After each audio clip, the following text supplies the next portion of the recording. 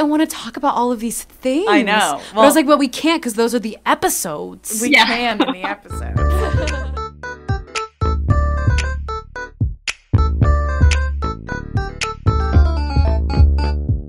Hello, we are here at Sun Sounds of Arizona in Flagstaff, Arizona, and you are listening to Untamed Shrews Women Talk Theater. I'm Hannah. I'm Dawn. And I'm Becki, and together we are your favorite untamed shrews of the Flagstaff Shakespeare Festival. Today, we'll be chatting a bit about our hopes and dreams for this podcast and telling you a bit about ourselves and the Flagstaff Shakespeare Festival. I'm Dawn, and I am the founder of the Flagstaff Shakespeare Festival as well as a Flagstaff native. Awesome. What is your what is your current position? Oh, did I not say? I don't think so. I'm the executive director of the festival. Um, so I do all the nuts and bolts work, but I also sometimes get to get on stage, which is super fun. Awesome. Where'd you go to school? Mary Baldwin University in partnership with the American Shakespeare Center. So I have a master's degree in Shakespeare and Renaissance literature in performance. Schmancy. So long, the longest title of a degree ever. ever. and uh, what about you, Becki? Uh, well, I'm Becki, and I'm the production manager for Flagstaff Shakespeare Festival. And I came to the company in, I guess, spring or winter of 2019 um, as an actor um, for two shows. And then just over the, if you're listening to this in real time, over the past, I guess, two years, um, have uh, grown into the production manager position. Um, I've got a background both in acting and in stage management. I went to school at Temple University in Philadelphia. Uh, which is where I'm from, just outside of that city. I came out to Flagstaff because I saw uh, a job posting on Backstage.com, and that's kind of how I came to to We grow into you. Yeah. And um, everyone out there, Becki is still in Philly right now, so we are zooming her in. We miss her greatly, but she is not with us here in Flagstaff, but that does not mean that she is not an absolute integral part of our company. We want her back soon, though. Well, hey guys, I'm Hannah, and I am the marketing director of Flag Shakes. Um, I have been with the company for, oh my gosh, almost four years now. Um, I started as an actor, choreographer with the company, um, and then Dawn just sort of kept giving me jobs. So now I uh, I get paid uh, to do all of our marketing stuff, and I'm super excited to start this podcast. Um, I am from California, went to school in Utah, but now I call Flagstaff home. Um, I love dogs. I like to bake. Oh, Dawn, we didn't mention we both do aerial arts. Yeah. I do Lyra and I'm starting Silks. Uh, Dawn does trapeze. You're doing Lyra now. I do Lyra on the side, but trapeze is like, that's my main squeeze. Side Lyra. Um, yeah, so we're all very dynamic ladies. We all do so many things within theater. We're not just actors, directors, um, artists, administrators. We do it Ooh, all. A term, a term that I heard is uh, we're slashers. so it instead of like multi hyphenate, which is also a good word, but like good I'm an actor slash director slash choreographer slash I don't know. Yeah, no, I love it. Um, yeah, and that's you know sort of why we started this podcast. We're not just actors. Uh, we do sort of everything within the the theater realm, the nonprofit realm, the arts realm. So we just kind of wanted to like chat about things, you know. Um, so Dawn, will you tell us a little bit about Flag Shake's history and how we started and all that? Yeah. So, as I mentioned, Flagstaff is my hometown, and I always wanted to come back here uh, and live here. But there was no professional theater in town. So I knew if I was going to come back here, I also had to start my own theater company. So I founded Flag Shakes in 2015 with a group of amazing, dedicated, hardworking actors and educators. Um, a lot of our very first show uh, were actually teachers who I had met through teaching. I used to teach in the school system here. And we put up 12th night mm. in Flagstaff, and we did it in like Heritage Square and at CCA. And it was really fun, and we were really scrappy. It was also so much more work than I had ever anticipated. Mm-hmm. And one of the things I'd love to talk about, you know, keep talking about in this podcast as we go is just about being a female theater founder and what it looks like to found a theater and be the executive director of a theater because I really would hope that a lot of other women do it, but I'd like to make it easier for them because man, was it a struggle. We should write a guide. Yeah, it would be great to have just like a real quick guide. Um, so yeah, so that's kind of how we got started and then, you know, I had I had been mulling over the idea of starting a festival and I was very close with Michael Flachmann up at Utah Shakespeare mm-hmm. Festival. And I remember talking with him about the idea, and he said, You can't start a theater company. You have to just put on a play and see if anybody comes. Then you can decide what to do. And I was like, That's great advice. So that's what I did. And we put up 12th night, and a ton of people came. So we put up two plays year two, three plays year three, four plays year four, six plays year five, and then this was just year six. Um, and in spite of you know COVID hitting, we still managed to do I think four full shows and. Uh, a six, bunch of events. Seven, a million events, yeah. a million events. Um, and we made three videos. So we managed to keep pretty busy during all of that and um, that's basically like where we are today. Yeah and now we are the three staff members so that's we've right. grown in that way. And that was the best thing that ever happened to me was when i stopped being the only staff member of flagstaff shakespeare festival. When you found us. And i found you and becki and i'll, I'll never forget sitting down with the job descriptions and being like, I know you're gonna think that you can't do this, but I know you can. you poured us some wine. Please say yeah, yes. Well, oh, just to tell that story, because um, Hannah and I had just come back from another contract um, up in New York, and we landed, and Dawn was like, "I'll pick you up." We're like, okay, great. And then she's like, "Let's come back to my house." Like, and then she started pouring wine, and it was like, "Oh, okay, like something's happening." I know.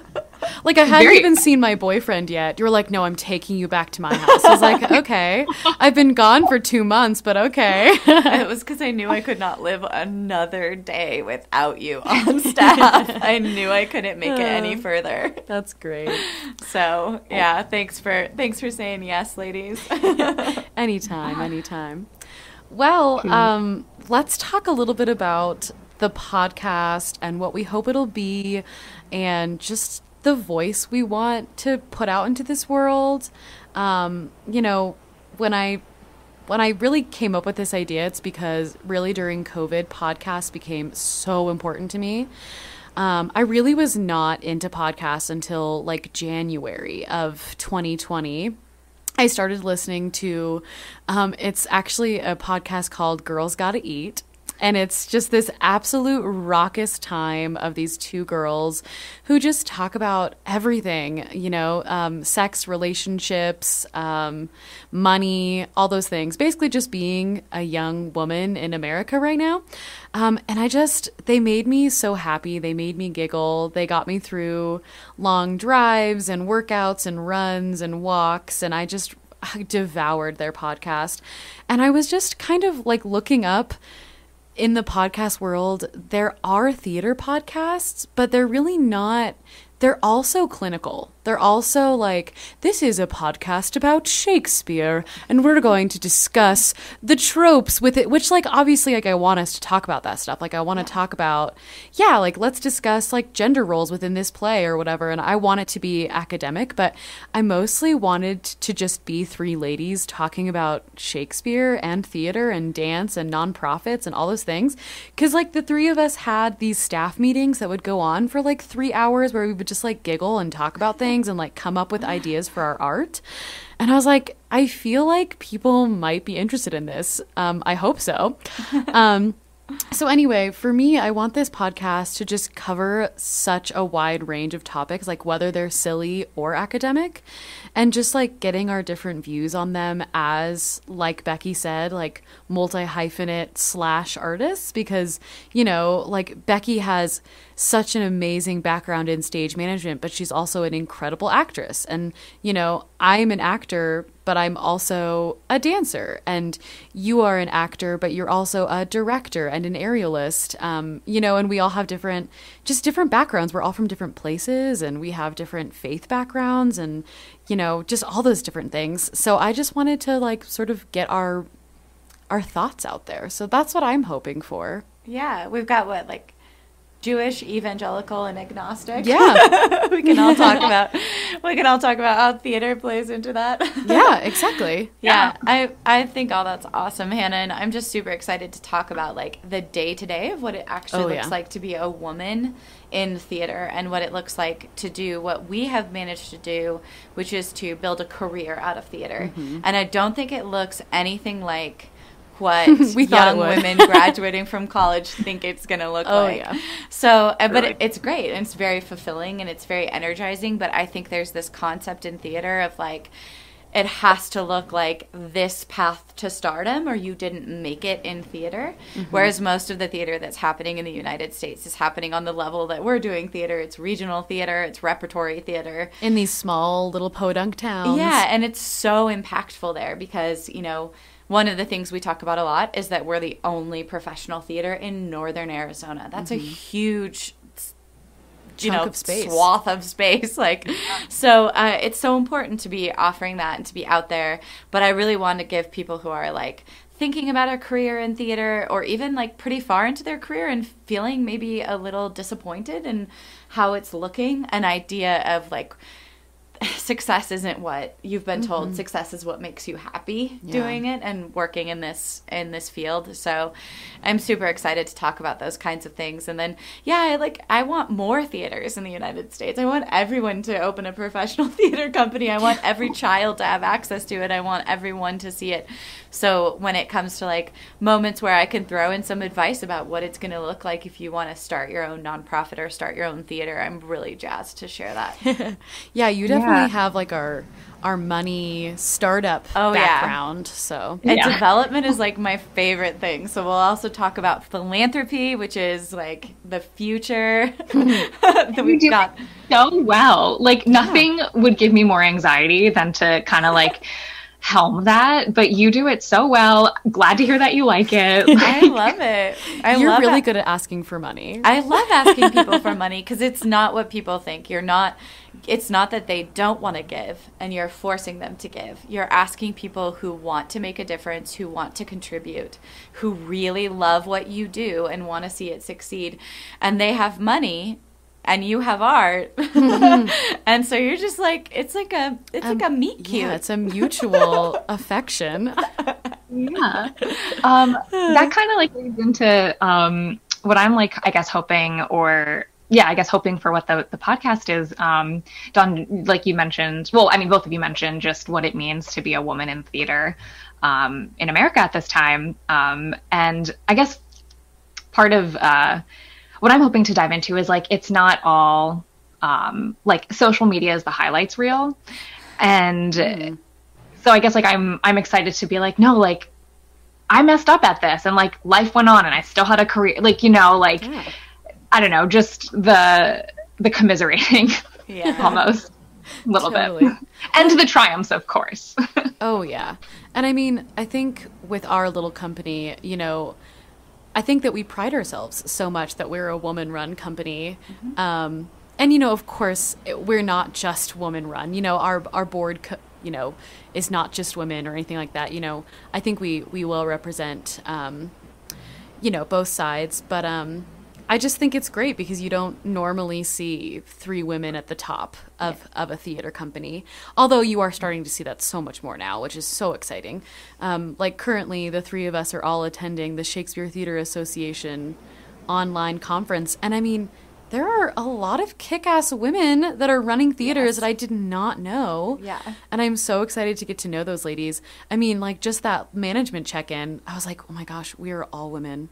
Oh, like so all eight of us that were in that check-in or in that like after like little discussion. I was like, wow. Yeah, because I remember when I when I founded Flag Shakes, which was not that long ago, the percentage of women at the in the top positions of theater was something like nine percent. Oh and I don't think that's true anymore. Mm. Yeah, that's so great. I think I think women are women are all over this Oh yeah. industry now. Well, we're su- it's such a women-dominated field. Like, I mean, like let's just talk about like my BFA program. like we had like Yeah. two boys, and we were like they we just put them in all of the shows over and over again because we had zero men, and we were all these girls that were like we love theater, but there are seventeen of us, you know. Yeah. So just like if you look at the fact that the numbers game, like this is such a women or er, when it comes to like at least in the acting field it's such a women dominated field when it comes to actual numbers but Yeah. you know women in leadership roles and or even just numbers of roles that are written for women are Right. so disproportionate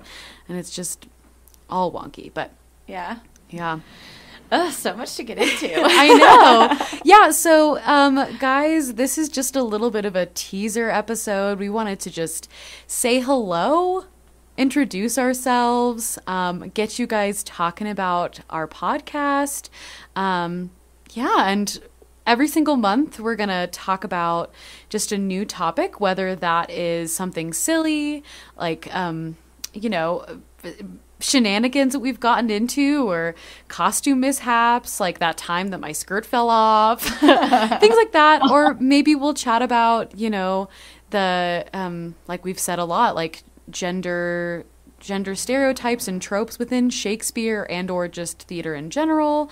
And you know we're hoping to bring in locals from Flagstaff in the art scene but also you know Shakespeare other Shakespeare leaders or other theater leaders or just people that we admire who are making art that we like not just theater but dance aerial improv um, all those things. So yeah um, we would love to hear back from you guys um, about all of that stuff and Anyway, but I'm going to take a quick minute to specifically thank our incredible studio, Sun Sounds Arizona, here in Flagstaff, and Gina. Woot woot! Shout out to Gina. She's on the other side of this, making sure that you can hear us. Uh, Sun Sounds makes media accessible to all by reading local print publications for Arizona communities. Yay, Sun Sounds. Hey, thank you. So, thank you all for listening to this month's episode of Untamed Shrews. I'm Becki. And I'm Dawn. and I'm Hannah. Join us next month for our first episode about showmances. Mm, we've all had one. Yeah. Let's be real. and there are ones we all wish we hadn't Uh, had. the ones we want to forget about. so yeah, guys, we're starting off episode one. This is I'm calling this episode zero. I don't know, but episode one, we're gonna start out silly and fun. Um, I think it's pretty relatable. Um, yeah, so we're gonna talk about showmances next month. But if you want to follow the Flagstaff Shakespeare Festival on Instagram, our hashtag or our hashtag, our handle is at Flag Shakes, and on Facebook we are facebook.com/slash Flagstaff Shakespeare Festival. But all episodes of Untamed Shrews can and will be found on sunsounds.org, as well as our Facebook, our YouTube, etc. All right, guys. Bye. Bye. Bye.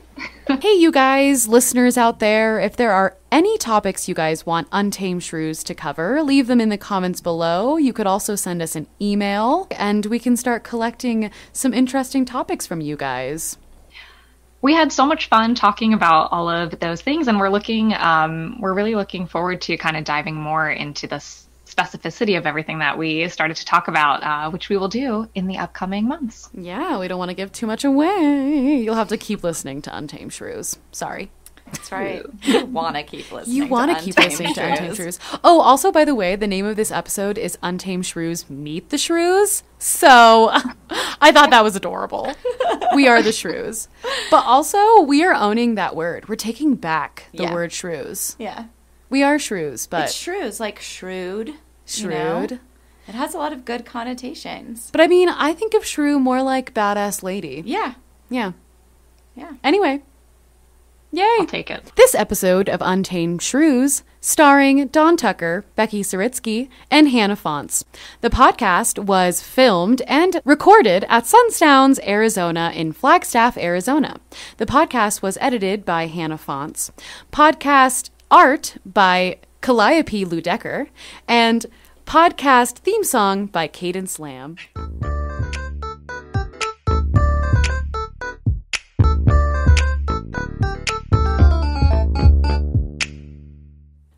Want to know more. It was untamed, It if was you will. untamed.